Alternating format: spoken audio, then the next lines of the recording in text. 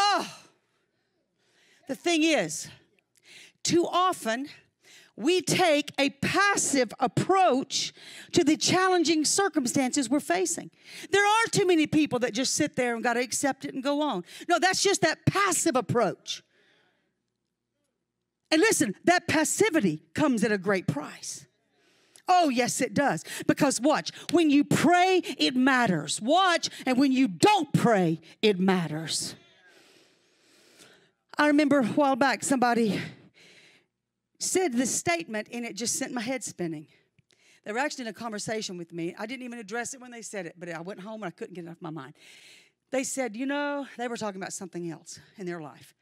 They just said, well, you know, God is God. If He's God and it's His will, it's going to happen. Whatever God wills is going to happen. Nothing we can do about it will ever change it. If God wills it, that's the way it's going to be. Well, I just looked at him and I just could not stop thinking about that statement. So many people think that way. If it's God's will, it's going to happen. Nothing we can do to ever change it. Really? If that's the case, if God is who many people think He is, why pray?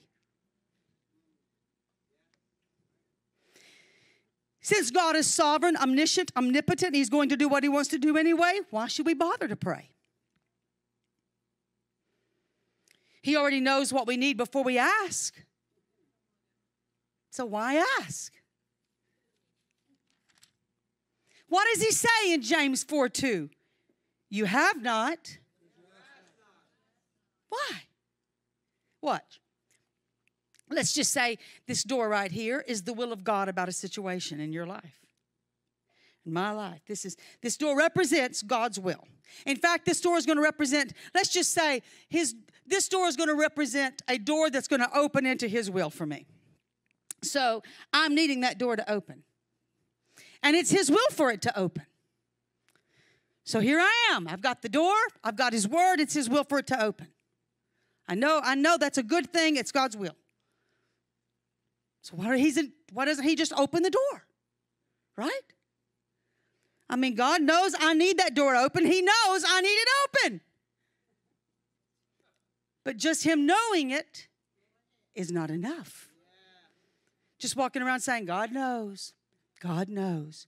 Of course he knows, but it's not enough that he knows. He hasn't set it up that way that he knows. He knows it all. He knows I need that door open. So why didn't he just open the door?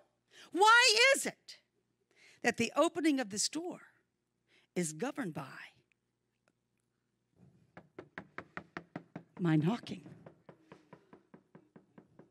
Why is it the opening of this door, which is his will, is governed by, according to his word, my intercession and my prayer?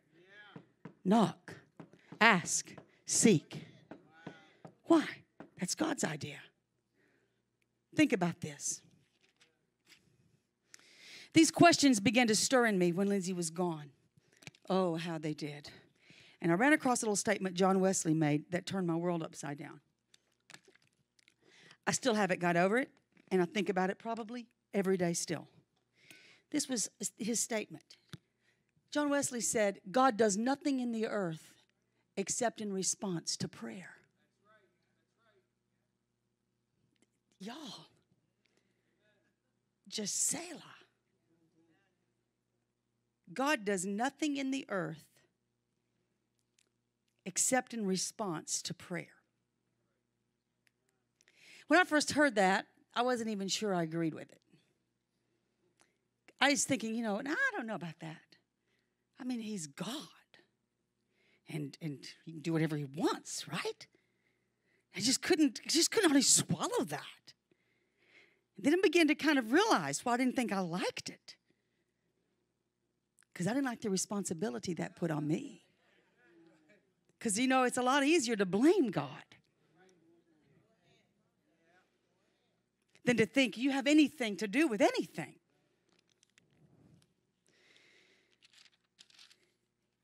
Then I began to, as I meditate on this for actually months, another thought came into my mind. I began to realize, and this is not just a thought, it's, it's a truth. It really is a truth. At least it is for me as I pondered it. It appears, that being said, the result of that statement means to me that God restrains his own desires in order to co labor with man.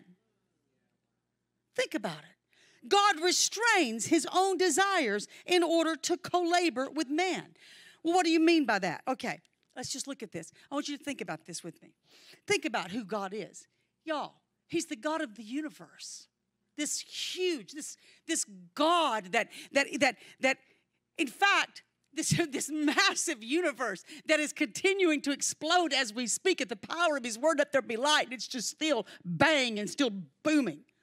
Here it's still going. Trillions and beyond comprehension, galaxies and stars and whoa and all. And yet, the truth is, God does not even exist in the universe. That universe exists in God. He even says that with the span of his hand, he set the heavens. Y'all, he's something else.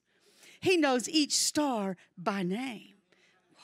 Each star, he knows. And there are more stars in heaven. I'm big into this, so I love it. There are more stars in heaven than there are grains of sand on every seashore on the earth. He knows by name keeps it all spinning and all together, holding it all together on just the power of His Word. You look at that. Here we are out here just dangling on nothing but His Word, here, just God.